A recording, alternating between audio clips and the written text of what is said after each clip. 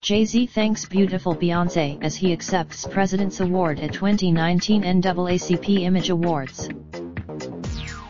A just added another trophy to his collection. The Empire. Taking the stage to accept the award, presented to him by NAACP President Derrick Johnson, Jay was sharply dressed in a black double-breasted suit. The hip-hop mogul, explaining that they all grew up in that same household, the rapper shared his grandmother's story and praised her for living her life to the fullest. I just Jay-Z wins NAACP President's Award and dedicates it to women in his life.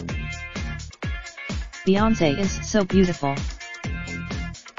The President's Award is presented in recognition of a special achievement and distinguished public service. Jay joins preview. Earlier this week, Beyonce and Jay were at the GLAAD Media Awards in Los Angeles. The crazy. Witnessing. 2. See more in the video below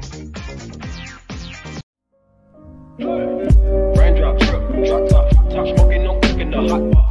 Fucking on your bitch, yeah, dot, dot, dot. Looking up, open the park, pot, pot.